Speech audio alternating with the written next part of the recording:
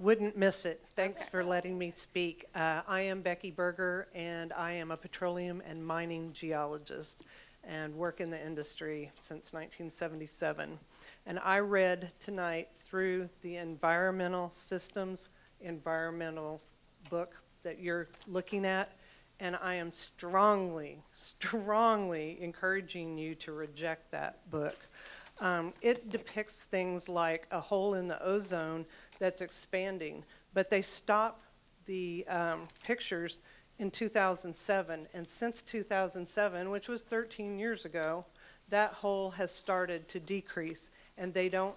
It's very misleading, and a lot of children are uh, visual learners, and I think that would stick in their mind more than the actual fact. Um, there's also things in there about uh, violence and malnutrition, which probably falls under social sciences, but it doesn't fall under science in the way that science has always been looked at.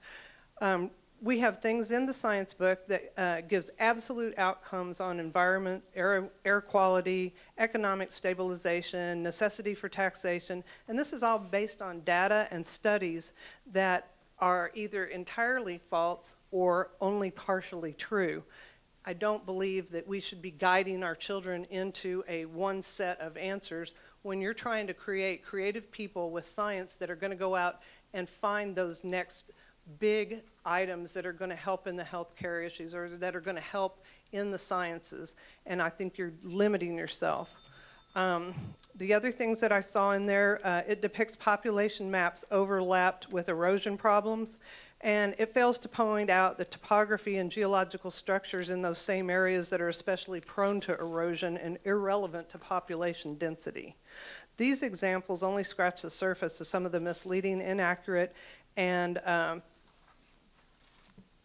potentially explosive type environmental issues that they are trying to claim based on emotion and a social agenda versus actual science. And I really urge you not to have environmental science in high school because chances are those children are going to take it consecutively. They're going to take biology, chemistry, and physics. You have to have those things to actually do environmental science, and I think that that should be reserved for college. Thank you. Mrs. Miller and then Mrs. Knight. Uh, This is uh, uh, very interesting, and it's disturbing if these, this book has errors in it. And uh, one of our, what? No, I don't. Okay, Miss Miller. Uh, God, um, one of our concern, even if we can only look at fifty percent, our books should not be, have errors in them, uh, Chairman. Uh, and if this, the way you're stating it, it certainly sounds like it. Now, I'm not, you know, I'm, I'm not a scientist, but what I would like to do is for you, and this is what we've done in the past, is have the publisher and challenge the publisher on these findings that you have and challenge them on the accuracy and the errors. We have done that before historically, and I would like to do that if that is possible, maybe, maybe tomorrow, I don't know, where, uh, what's, uh, what venue is it appropriate, Ms.? Um, staff, John, would you like to answer that? But Becky, it, I love the fact that you actually read the book. Oh, So I you also went- read what the teachers are supposed to teach and how. Oh, so you went upstairs and you read, okay. Yes. I love that, because a lot of our testifiers never looked at a book, That's looked sad. at the books. But I'm assuming d- you don't have typed testimony because you were, you've been here all day? Well, I didn't even know about this hearing until Okay. about uh, 11 o'clock this morning, Okay. and I had to drive over. Well, what I'm so- asking is, maybe you could write down the errors that you found Yeah, and one of the email ones- them to the board, Yeah. and that way we'd have the list. But let me let Mr. Lopez answer Ms. Miller's question first. Well, basically, Mrs. Cargill, that's correct. I would need to do a little bit of data searching, which programs, which publishers. Uh, I'd look at the summary sheets from the panel members to see if they already listed those errors. They're not required to correct them now, but if they were listed, they would be required to correct them at a certain time.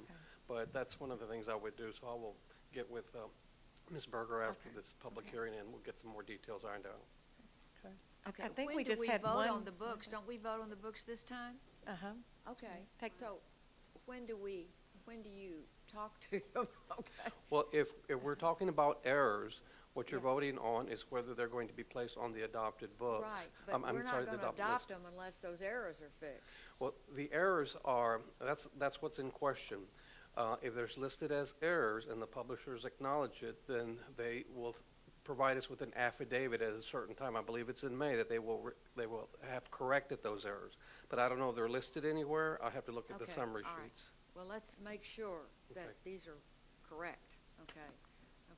There's Thank you. specific stuff in there about hydraulic hydraulic fracking and leading it toward the children to think that it's bad for your water wells if it's nearby. And the EPA came out with a statement a year ago and once again a month ago reiterating that it has no effect. Yeah, I've read that. And yet it's still in that book. Okay. Mrs. Knight? Oh, I, it, this startled my colleague. I thought she had the written testimony, and I was Oh. looking for it, but we don't have her written testimony. But we'll be getting her s- suggestions Well, I- of the factual errors. I asked her if she would email the list of errors she found, and she agreed, so. Okay. yeah. Oh, is that your question? Okay. You're right. And, and you can get, um, our email address. Mr. Lopez would have the SBOE support email address, so. Okay, thank you. All right, Thank anything you. else? Oh, Mrs. Bahorich. Um, one of the things that, um, did you notice that it said that you, you know, there was no public place to find, um, the listing of the chemicals that go into the fracking? Um, I don't know if you saw that in the, In the text in the of the text. book. It had something, Which something isn't in true there. because it's on the Railroad Commission Exactly. Uh, Uh, one- if- Texas has led the way, actually. In 2011, we had that legislation that actually started a registry. And um, the registry for that is called fracfocus.org online. Actually, you can go in and check wells. Um, The oil companies all have banded together, and they've got that on there. So, I mean, I think that's an error because it says that, you know, you can't find that information in the book unless they've corrected it, Well, since I read it a a few And there's all ago. other things in there about like water usage and stuff, and um, the industries realize that that's a problem, and they're, Correct. they're fracking with gas now and, and gel that uses one-third the amount of water, so. Right. th- There's a lot of things that aren't science that are in this, and I don't think we should be addressing violence and malnutrition in a science book, unless it's a, you know, you can do social science or you can do biology for malnutrition, but I don't think it's appropriate to do it in an environmental science book. And one of the other, um, the only study they actually uh, showed that I saw in the book, and maybe it has changed because I have not read if they've done any revisions um, since I looked at it a couple months ago when we were looking at this work. And um, they only had one study listed uh, regarding fracking, and it was the Pennsylvania study, which is pretty controversial, and there have been so many studies since then, you know, that, um, that show that, you know, fracking is a localized problem um, more often than anything else, and there's really, and it, there are many ways to contain it, and the, and the oil companies actually have done quite a, a bit of work on trying to make sure that there aren't any issues with, uh, release of, Fracking's so Chemicals. specific at this point, it's like chemotherapy Absolutely. being put directly into a tumor. We can do a five to 10-foot bed and only frack in that section of rock, because it doesn't benefit the industry to frack past that, because you could lose your entire hydrocarbon reservoir. yeah, absolutely. The other thing, too, that I noticed about the book, um, and I was wondering if you noticed that, I, I did not see, and I, you know, I didn't read the book from cover to cover, maybe you did that. Um, I did not see a differentiation of um, carbon. They talked about CO2 a lot, a lot about carbon dioxide uh, emissions, but there was no differentiation within the fossil fuel discussion about the difference between coal, coal and um, and natural gas. And of course, you know, we're having this natural gas explosion, and um, you know, natural gas is half the carbon dioxide emission of, of, of coal. There was also no discuss, did you, did you see any differentiation? I didn't see they anything. didn't. They acted like it was It all was the all same one, thing. same, the, all the Right. same thing, yeah. I, I had a problem with And there's that. no particulate matter with nat- natural gas, and they Absolutely. didn't point that out either. It's, it is the greenest thing that you can do. That is a and- fossil fuel, for And sure. electricity is a, at best, it's a secondary uh, energy source, and at worst, it's a tertiary, because you've got to burn something to make electricity. And I, I did also, can I continue? Yeah, you have another questions? question? Okay. Did you see, uh, and maybe I missed this again, was there a discussion about, um, you know, I- I, remember discussion about the personal footprint, you know, and, and of course, I think that's very important that all, uh, you know, that we be aware of our personal footprint and that sort of thing. But did you see, like, any information that kind of talked about uh, emissions by the different countries? And of course, you've got this growing issue in China as an example. when And They're adding a India as gigawatt a well. week Yeah. to uh, It did coal-fired not plants. Yeah. differentiate and, in the book. And the thing is, if we cut down on all of our carbon emissions, it's not going to matter because China and uh, India are in a, a growing state and their, their emissions are getting greater every year, just like some of the countries in South America are. It's a, it's a big issue, but let's think about this. If we have no carbon dioxide, we have no trees, no plants, no food. Yeah. I understand China's about five times the U.S. emissions right now as, as a, as a country. And it's a global atmosphere, Yeah. so eventually the Earth gets around to having us go through that section of air too. Right. I- I- Yeah, there's a lot of emissions. Yeah. I think I remember there's only one environmental science book that was submitted. Right. So unfortunately. And unfortunately. it's only got one, This one is what the original. teachers will have to Yeah. pick if they want to buy an environmental science book, so. Mrs. Knight? Okay, could you go back and c- clarify for me? Your, I thought you said that environmental science should not be taught in, uh, high school. Would you elaborate on that, please? You need to have your biology, chemistry, physics to be uh, something that you already know to do environmental science because it's all wrapped up in what you've learned in those classes to be able to move on. It would be like taking calculus and you didn't take geometry. So you really need the, that solid rock basis to go on to the environmental science. Does that Okay. help? But don't, don't our students have to take those, uh, this is for Monica. Uh, Uh, Monica, do this, our, don't our students take biology and chemistry before they do environmental science? Under the Or current IPC. graduation requirements, that would be true. Uh, under House Bill five, not necessarily.